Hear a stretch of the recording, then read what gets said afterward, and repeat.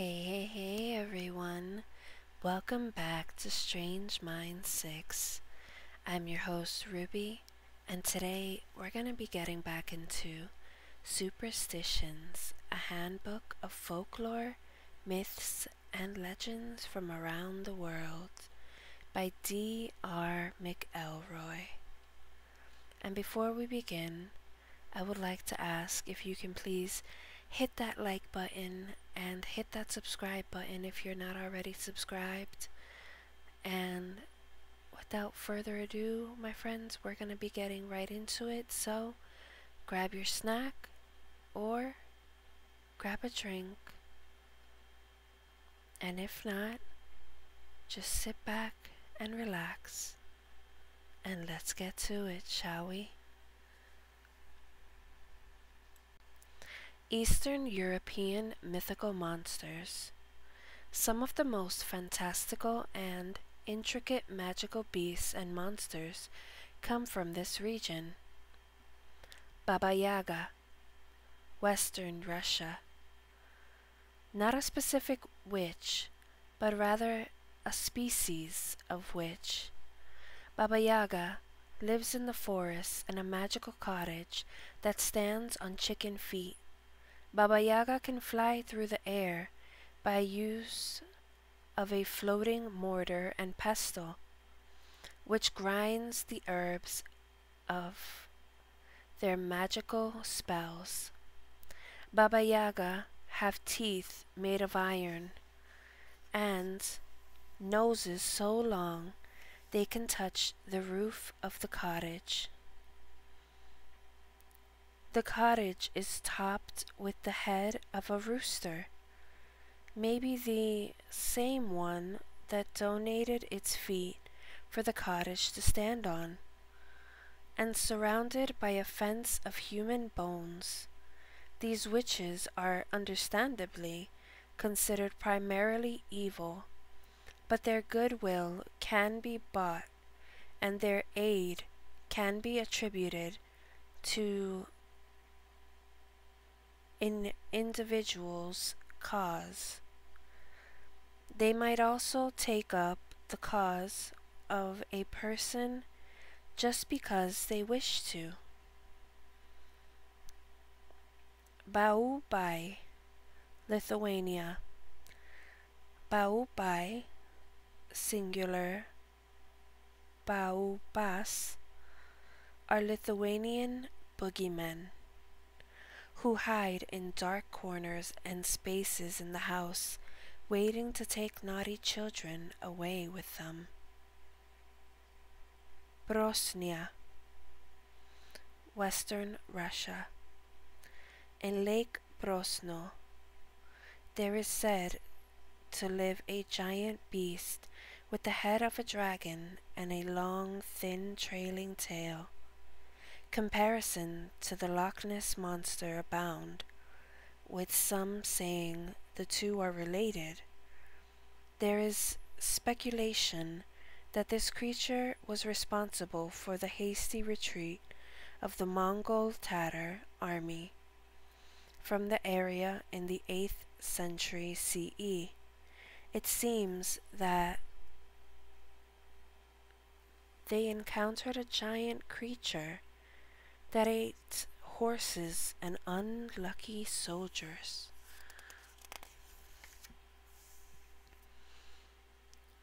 Hastrman, Poland.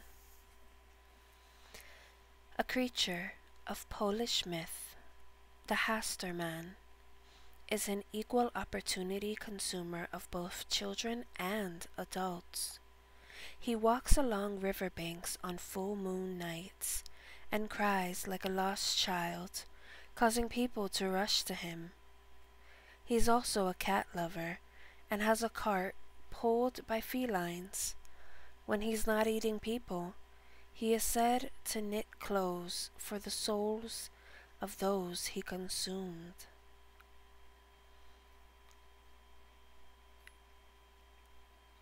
Krakonach. I might be butchering the name, and I do apologize with any of the names that I butcher in advance. This beast or mythical monster comes from Poland and the Czech Republic. A Yeti like beast that lives in the mountains between Poland and the Czech Republic. Krakonach's mood can swing from wanting to eat everyone and everything in sight to acting as a helpful finder of lost hikers. Krampus, Germany, Western Russia. With its origin unknown, Krampus is the antithesis of Santa Claus. While Santa rewards good little children with presents and candy, Krampus punishes bad little children by whipping them with birch branches. If the children are especially naughty, Krampus will stuff them in his sack and carry them off to his lair, never to be seen again. Krampus is usually depicted as a demonic half goat half man creature.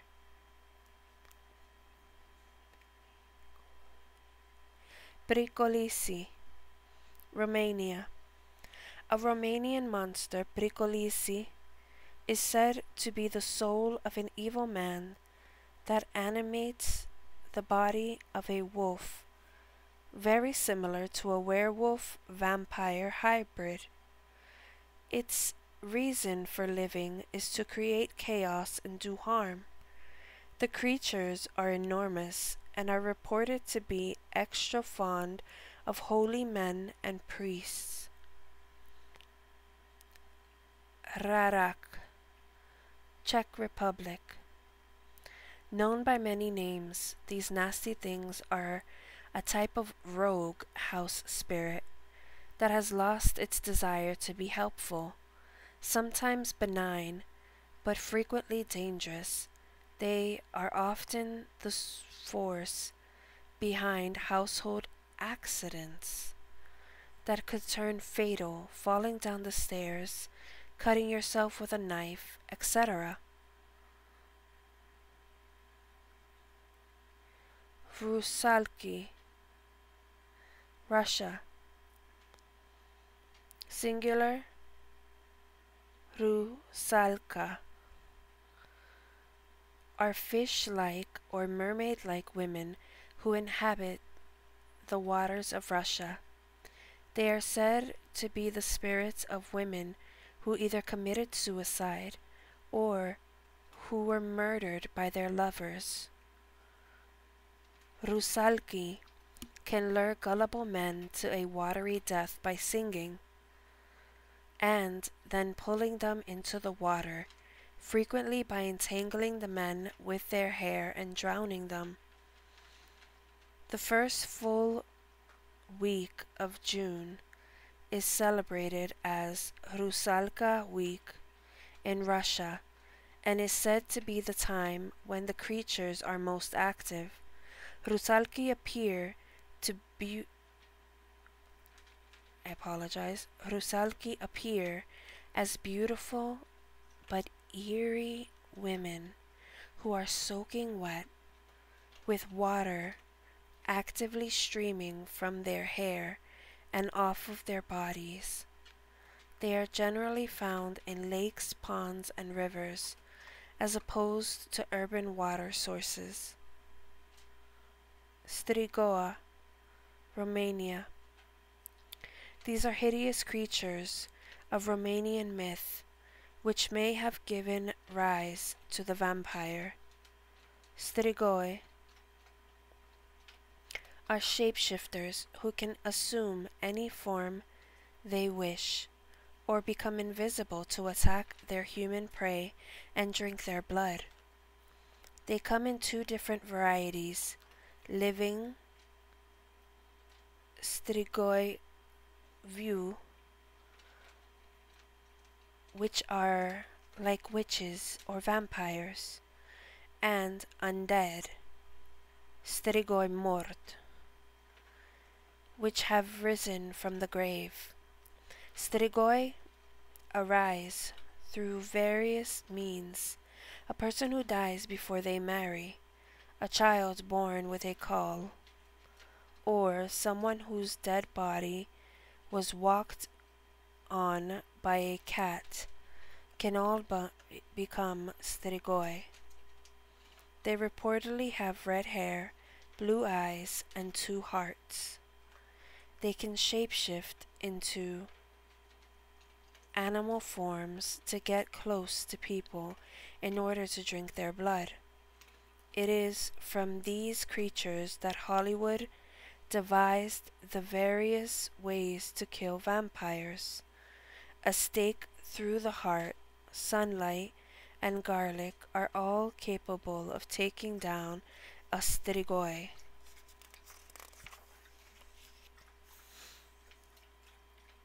Urias, Russia. An example of post-Christian mythology, the Urias were a race of giants that were the first people to inhabit the earth. They were said to have lived peacefully with humans when humanity first appeared, but they eventually caused war and conflict until God flooded the earth, saving only Noah and his family and the animals that were on the ark. Biblical giants are described in the Old Testament, in Genesis and elsewhere, as being from the sons of God and the daughters of humans. The term is used as Nephilim, which was and has been translated as giants, or alternatively as the fallen. So giants both predate humanity and yet a result of mating between angels and human women. Romanian mythology states that one can find buried treasure by seeking out the burial sites of Urias on the high holy days of Christmas Eve, Easter, and St. George's Day, April 23rd, on the Orthodox calendar. You will know these burial sites by the fires burning atop them. Vampire, Romania. The most famous of all monsters, this Romanian nightmare creature arises from the earth each night to stalk the land and drink the blood of its helpless victims. Hollywood has glamorized the creatures to the point that they have become romantic objects desired by thousands of swooning teenage girls. Originally, these fiends reeked of death and the blood they consumed were able to shapeshift at will and could only be killed by ritualistic driving a, a wooden stake through their bodies to pin them to the graves, followed by cutting their heads from their bodies and burning them. The legend of the vampire may have arisen from fear of some of the warlords of ancient times. Many of these overlords were rumored to be hideously cruel to their tenant farmers, taking all of their possessions to pay exorbitant taxes and murdering those who were unable to pay. The notorious Vlad Tepes, also Vlad the Impaler, or Vlad Dracula, was the basis of Bram Stoker's a Bram Stoker's undead creature. Tepes was rumored to be excessively cruel to the Transylvanian Saxons who opposed him, killing them all by having stakes driven through their bodies from throat through opposite end, and then displaying the impaled corpses outside of his castle. Transylvanians rewarded this behavior by figuratively turning Dracula into a mythical monster. Later, Tepes attacked armies of Ottoman, Turks, and Bulgarians slaughtering them by the tens of thousands. Vladimir Ledenev, Poor Vladimir, is a kind of urban legend. His mummified remains were found inside his apartment six years after he unexpectedly went missing. He seemed, it seems, that no one had bothered to actually check out Vlad's apartment but instead had simply knocked on the door, then walked away when he didn't answer. Meanwhile, Vlad was mouldering on the other side of the door. When he was finally found, he was allegedly sitting at his kitchen table with an empty bottle of vodka in front of him.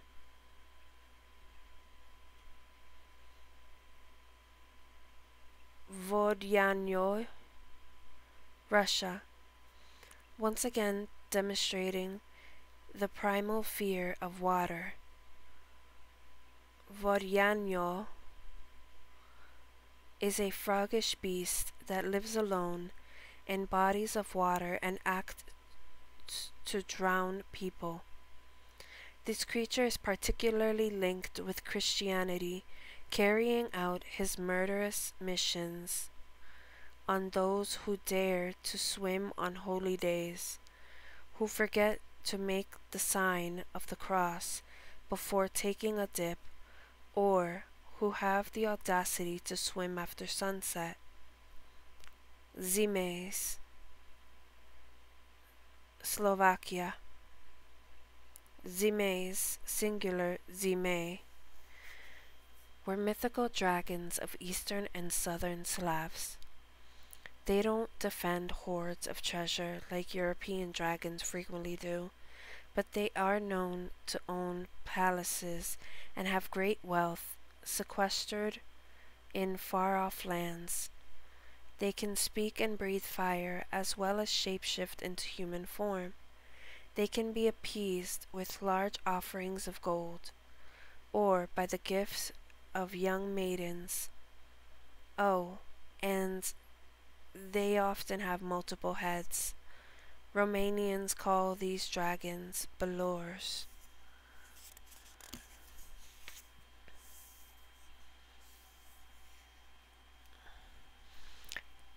European, Eastern European superstitions. In general, Eastern Europeans tend to be more superstitious than their Western counterparts.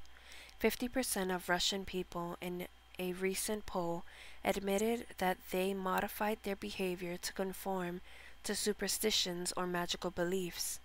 Here are some interesting superstitions. Don't wear clothes inside out. Doing so raises the risk of you getting beaten up. If you do ac- if you do so accidentally, but then immediately fix them to the right side out again, you can escape a thrashing if you ask someone to whack you on the back. Flowers must only be gifted in odd numbers, so your bouquet can have 13 flowers but not 12. Giving even numbered flowers will put off the recipient seeing as Russians only take even numbers of flowers to cemeteries. If you are to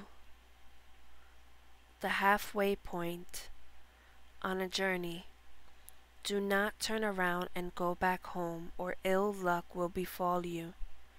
If you forgot something vital and you must return, Look in a mirror before leaving the house and resuming your journey. Never shake hands over a threshold. Also, never hug or kiss over it. There's a house spirit that lives there, and your actions in his space might disturb him, and that's a bad idea. Instead, step inside the house, Then make your greetings. Similar to some Chinese gifts, giving certain household objects can be problematic. For example, given an object with a sharp edge, like a knife or scissors, can lead to arguments with the recipient.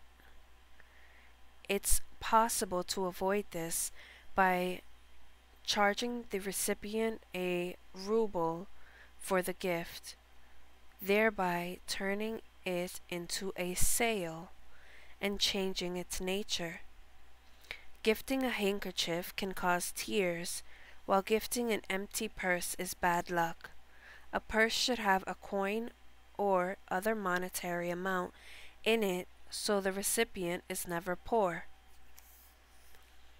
Sit between two.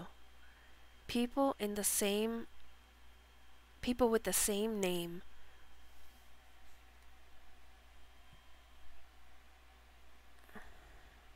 to get lucky. Popular names are very common in Russia. So if there are two Ivans or two Natashas at a party, get in between them and make a wish, and it will come true. Of course, don't tell anyone what you wish for. Salty foods means that the cook has fallen in love, so don't complain about it. Don't lick a knife. Doing so will turn you into an evil person, likely a liar, since we know that liars have split tongues. If someone wishes you good luck, your reply must be to to heck with that or some version of that. Thanking someone for wishing you luck will cause misfortune other versions of this myth state that the first person should never actually say good luck, but instead should say the Russian equivalent of no fur, no feathers, to which you would give the same to heck with that response. In a similar fashion, performers traditionally say break a leg to each other before going on stage to ensure a good performance. Never leave empty bottles on the table. Whether your party's tab is determined by the number of empties or you're following the tradition of finishing every bottle that is open, empties should be put on the floor beneath the table. All members of a traveling party must sit down together briefly before moving on. This ensures that everyone will have a safe trip. Knock on wood is big in Russia. They don't say it out loud, and they mime spitting over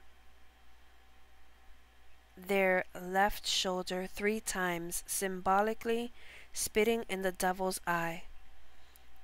If there's no wood around, they'll knock on their own heads.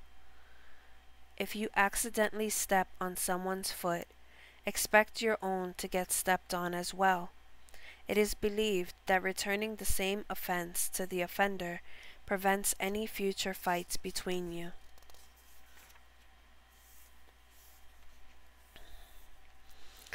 Do not walk on opposite sides of a pole if you are with a friend or loved one, doing so means that the relationship will end. Make sure that both of you pass a pole on the same side. Hiccups mean someone is thinking about you. Whistling indoors is very bad luck, and it can lead to you losing all your money. Single people should never sit at the corner of the table, or they will never get married. Children are exempt from this. Never sit directly on the cold ground, because it will make you infertile. This rule is particularly true for women. Sitting on a blanket or other ground cover is okay. Never wish someone a happy birthday before the actual date, lest misfortune befall on them. Likewise, don't celebrate your own birthday before the actual date. And that, my dear friends, is where we're going to leave it off. The next chapter is Western Europe Celtic gods and goddesses. And with that, my dear friends, this has been Ruby signing off. And may you have a wonderful morning, afternoon, evening, or night whenever this video reaches you. Again, this has been Ruby signing off. Goodbye.